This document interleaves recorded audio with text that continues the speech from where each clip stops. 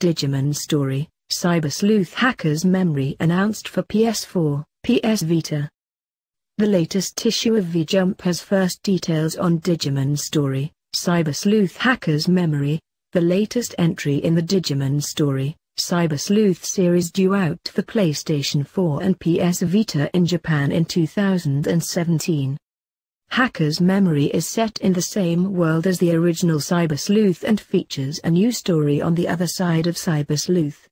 The protagonist is Keisuke Amazawa, name changeable, a young man who had to jump into the hacker world after he was made the criminal in a case he knows nothing about. Character designs look to again be by Suzuhito Yasuda.